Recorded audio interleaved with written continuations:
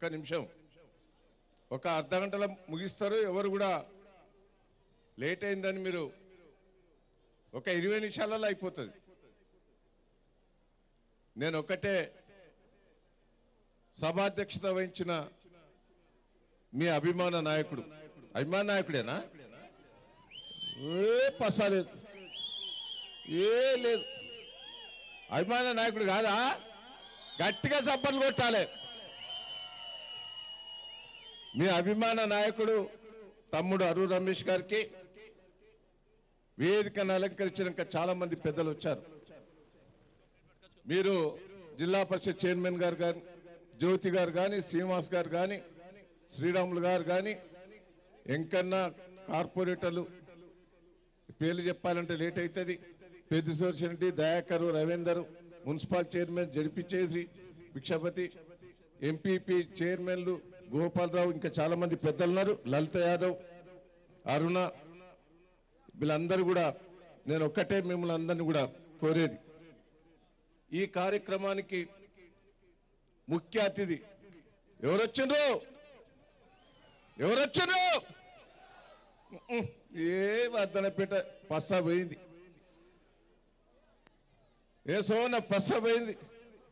గట్టిగా ఎవరొచ్చారు ఎవరొచ్చారు గట్టిగా చప్పట్లు కొట్టి అభినందించాలి హరీష్ అన్న. హరీష్ అన్న వస్తే మీ రమేష్ వదిలిపెట్టాడు. ఏ ఆయన ఫైనాన్స్ హెల్త్ మొత్తం ఆయన చేతుల్లో ఉన్నది. ఆయన ఏదో రూపంగా పెట్టి వర్ధన్నపేటకు డబ్బులు తీసుకుపోయేదందుకే హరిశన్నం పిలిచిండు. నేను ఒకటే మిమ్మల్ని అందరినీ ఆయన మనసున్న మహారాజు.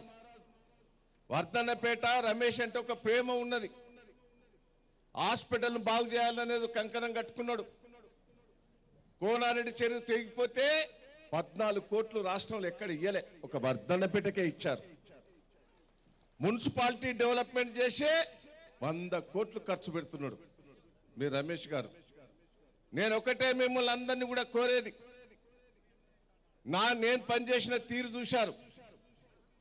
పదేళ్ళు కాంగ్రెస్ ప్రభుత్వ అధికారాన్ని చూశారు. రే వేరే రాష్ట్రాలలో బీజేపీ పరిపాలించే రాష్ట్రాలు కూడా మనం చూస్తున్నాం. విశ్లేషణ చేసుకోవాలి. నేను ఎందుకు అంటున్నా అంటే రమేష్ ఇంకా చేయలేదనేది ఉన్నది. రోడ్డు చేసినా చెరువు బాగు చేసినా చెర్లకు నీళ్ళు తెచ్చినా నాకేం చేసిందంటే వాళ్ళు కూడా ఉన్నారు. అందరికి చేయాలంటే భగవంతుడి నుంచి కూడా కాదు. కానీ నేను ఒకటే మిమ్మల్ని అందరినీ కూడా కోరేది ఒకటే. నేను నలభై ఏళ్ళ రాజకీయాలలో నన్ను దీవించారు మీరు. మూడు సార్లు గెలిపించారు.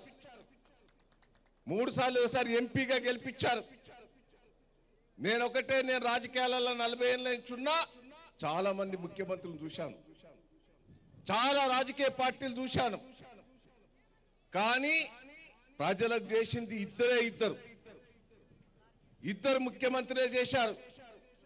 ఆ రోజు పెన్షన్ విధానాన్ని ప్రవేశపెట్టింది ఎన్టీ రామారావు గారు ఫస్ట్ పెన్షన్ మీద రకాలు మాఫీ చేసి ఎన్టీ రామారావు గారు పేదలకు బియ్యం ఇచ్చింది ఇద్దరే ఇద్దరు. ఈ రోజు కేసీఆర్ గారు రెండు వందల పెన్షన్ ఇస్తున్నప్పుడు ఎవరు చస్తే వాళ్ళకి పెన్షన్ వస్తుందని చూసేది. కానీ ఇలా రెండు వందల పెన్షన్ ఇచ్చినప్పుడు కోడలు అత్తాను కూడా విలువపోయేది. రెండు వేలు ఇచ్చిన తర్వాతనే అత్తా బాగున్నాం అనే పరిస్థితి వచ్చింది. అది కేసీఆర్ దయవల్ల ఇలా కేసీఆర్ గారు ఏ రాష్ట్రంలో ఇయ్యని తిరిగి పెన్షన్లు ఇస్తాడు? కాంగ్రెస్ పరిపాలించే రాష్ట్రాల్లో నేను తిరిగి వచ్చాను. ఐదు వందల రూపాయల పెన్షనే. బీజేపీ పరిపాలించే రాష్ట్రాలు కూడా తిరిగి వచ్చాను. మూడు వందల పెన్షనే. కానీ కేసీఆర్ గారు రెండు వేలు ఇచ్చారు కొంతమందికి ఉన్నది.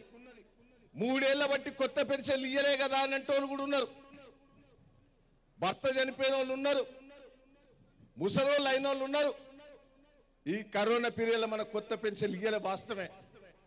ఆర్థిక పరిస్థితి మంచిగా లేదని ఇయ్యలే. హరీష్ రావు గారు అని వచ్చినప్పుడు కార్లు నాకు చెప్పాడు ఫైనాన్స్ డబ్బులు మంజూరు చేసేది పెన్షన్లు ఇచ్చింది నేనే. కేసీఆర్ గారు చెప్పారు పెన్షన్లు ఇవ్వని. వచ్చే నెల నుంచే అరవై ఐదేళ్ళది యాభై ఏడేళ్ళకే పెన్షన్లు ఇవ్వబోతున్నామని కూడా ఈ సందర్భంగా మీకు తెలియజేస్తున్నాం. నేను మిమ్మల్ని అందరినీ కూడా కోరేది ఒకటే వర్ధన్నపేట నియోజకవర్గ ప్రజలు చైతన్యవంతమైన ప్రజలు. ఇలా ఊసదంపుడు ఉపన్యాసాలు బీజేపీ వాళ్ళు కాంగ్రెస్ పార్టీ వాళ్ళు చేస్తారు. తప్పుడు ప్రచారాలు చేస్తారు. నేను ఒకటే మిమ్మల్ని అందరినీ రిక్వెస్ట్ చేసేది ఏ రాష్ట్రంలో చేయని తిరిగా కేసీఆర్ గారు చేస్తాను. నేను కాలువలు తవ్విచ్చాను కాలువలు తవ్విస్తే నీళ్ళు రాలే. గత కాంగ్రెస్ పీరియడ్లో మహారాష్ట్రలో బాబ్లీ ప్రాజెక్టు కడితే సుక్క నీళ్ళు రాలే. దయన్న కాలువలు తవ్విచ్చారు కానీ నీళ్ళు రాలేదనే బాధ మీకుండే.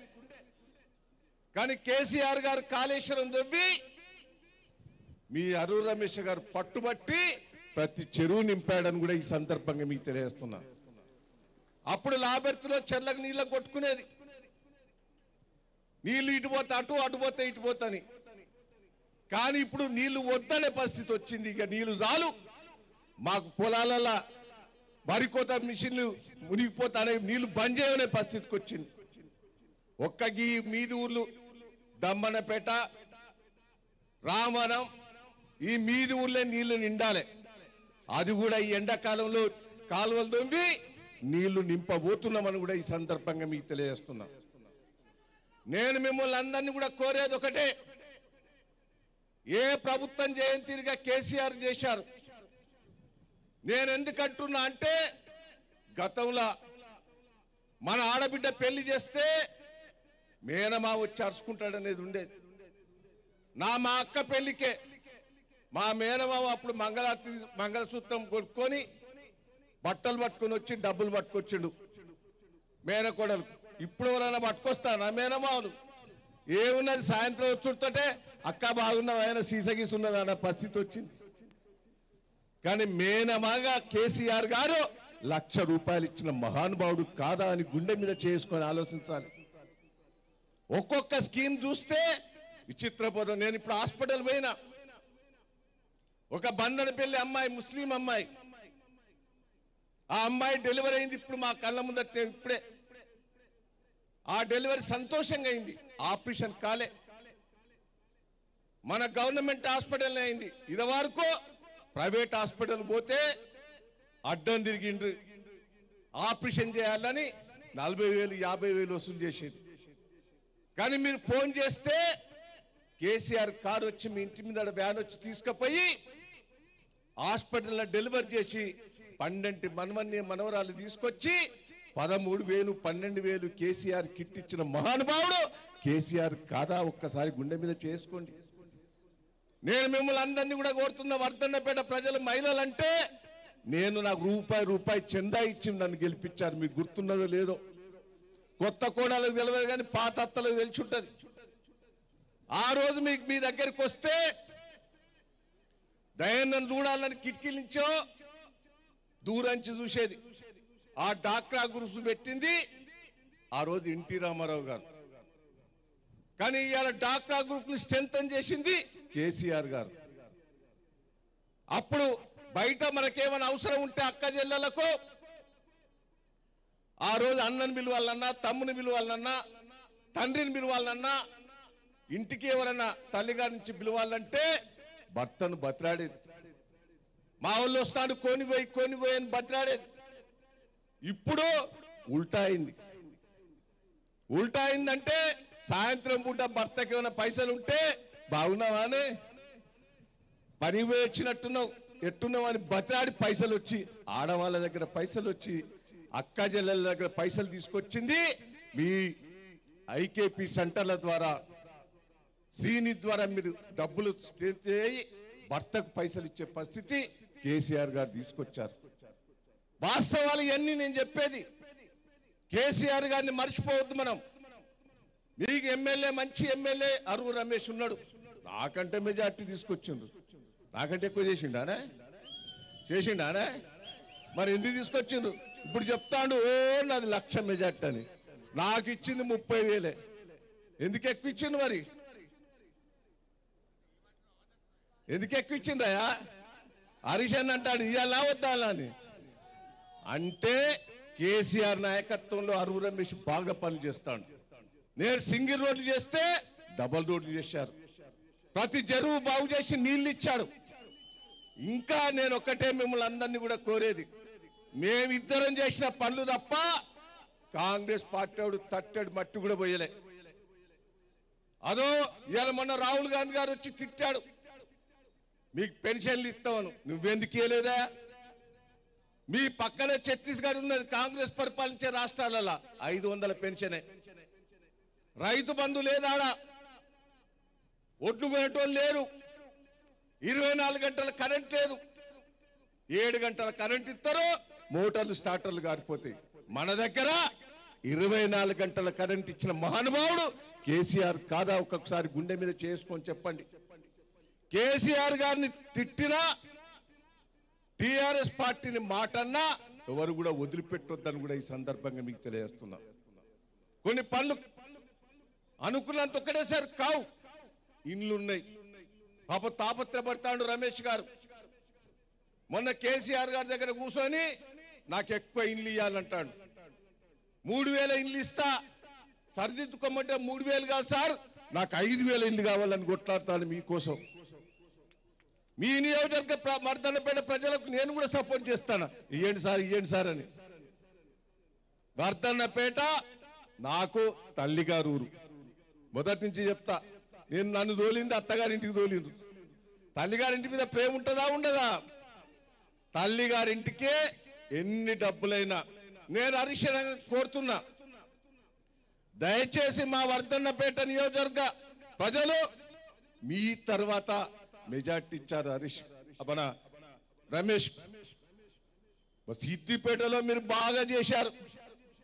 సిద్దిపేటను మించి మా వర్ధన్నపేటను చేయాలని కూడా గట్టిగా చప్పట్లు కొట్టాలి హరీష్ అన్నారు ఈ వర్ధన్నపేటను మీరు సిద్దిపేటను ఎట్లయితే మోడల్గా తెలంగాణ కాదు ఇండియాలోనే మోడల్ కాన్షియస్గా తీర్చిదిద్దారు. మరి ఆయన తర్వాత వచ్చింది రమేషే మెజార్టీ. రెండు సార్లు ఒక్కసారి అంటే వచ్చిందంటే ఏదో లాటరీ వచ్చినట్టు వచ్చిందేమో. రెండు సార్లు వచ్చినాయి. మరి మూడు సార్లా? మూడో సార్లు వస్తారా వస్తుందా? లచ్చ? ఏమో. సరే మీ ఊపు చూస్తలేదని గట్టిగానే నమ్మకం అనిపిస్తుంది. ఏది ఏమైనా నేను కూడా హామీ ఇస్తున్నా. హరీష్ హరీష్ అన్నకు మీతోటి సమానంగా మిమ్మల్ని దాటిపోతా అని చెప్పా. హరీష్ అన్న సమానంగా తీసుకొచ్చే బాధ్యత మా కార్యకర్తలది నాది కూడా ఉన్నదని కూడా ఈ సందర్భంగా మీకు తెలియజేస్తున్నా. మంచి మనిషి. మీరు ఒక్కరోజే టైం ఇచ్చారు. ఒక్కరోజు టైంలోనే కార్యకర్తలను ఇంతమందిని తీసుకొచ్చాడు. ఆయన ఒక ఆయన దమ్మున్న నాయకుడు. కష్టపడే నాయకుడు జిల్లా పార్టీ అధ్యక్షుడయ్యాడు. ఏది ఉన్నా కానీ మొన్న హుజరాబాద్ ఎన్నికలలో నెల రోజులు ఉండటం వల్లనే తక్కువ తిరిగిండు. ఇక ఇప్పుడు పొద్దున్న లేస్తే ఇక్కడనే తిరుగుతాడు. దయచేసి హరీష్ అన్న నేను రిక్వెస్ట్ చేస్తున్నా మా వర్ధన్నపేట ప్రజలు మంచి వాళ్ళు పని చేసినా మర్చిపోరు. నేను హరీష్ హరీష్ అన్నకు హామీ ఇస్తున్నా ఈ వర్ధన్నపేటను మీ ఇద్దరం రమేష్ నేను కాపాడుకుంటున్నాం కార్యకర్తలను. మీరు కూడా అనుకున్న ఇండ్లు కానీ అనుకున్న స్కీమ్స్ కానీ ఇంత మునిపే చెప్పాడు నాకు. నువ్వు సీసీ రోడ్లు బాగానే ఇచ్చావు. రోడ్లు బాగానే చేశావు. నేను తమ్మునికి రమేష్కి చెప్తున్నా కొన్ని మెటల్ రోడ్లు పట్టుకొచ్చావు. ఆ మెటల్ రోడ్లు కొత్త గ్రామ పంచాయతీలకు బిల్డింగ్ కూడా మంజూరు చేస్తాను కూడా ఈ సందర్భంగా మీకు తెలియజేస్తున్నా. గ్రామ పంచాయతీ సర్పంచ్లకు కూడా కొత్త బిల్డింగులు నేను మంజూరు చేస్తా. తతిమేయన్ని హరిశన్న గొప్ప చెప్తా ఈ నియోజకవర్గాన్ని ఒక దత్తత తీసుకొని డెవలప్మెంట్ చేయవలసిందిగా విజ్ఞప్తి చేస్తూ ఈ అవకాశం ఇచ్చి కార్యక్రమంలో పాల్గొన్న మీ అందరికి కూడా పేరు పేరున కృతజ్ఞతలు ధన్యవాదాలు. Thank you thank you thank you అన్న తమరి దయచేసి నిలబడ్డోళ్ళు కూర్చోవాలి. తమరు అన్ని విధాలుగా మాకు సహాయ సహకారాలు ఇస్తున్నారు ఇంకా కూడా ఇస్తారు. మీకు మెటల్ రోడ్లకు సంబంధించి పదమూడు కోట్లది కూడా ఇచ్చిన అది పెద్ద మనసుతో ఆశీర్వదించాలి. ఇప్పుడు పెద్దలు గౌరవనీయులు టైగర్ హరీష్ అన్న గారిని మాట్లాడవలసిందిగా కోరు జై తెలంగాణ. మేము నాలుగు గంటలకు వస్తామని ఇప్పుడు ఏడైంది. మూడు గంటలు లేటుగా వచ్చినాం. ఎక్కువ ఇబ్బంది పెట్టము. ఈరోజు ఆగుబిడ్డ మీరు ప్లీజ్.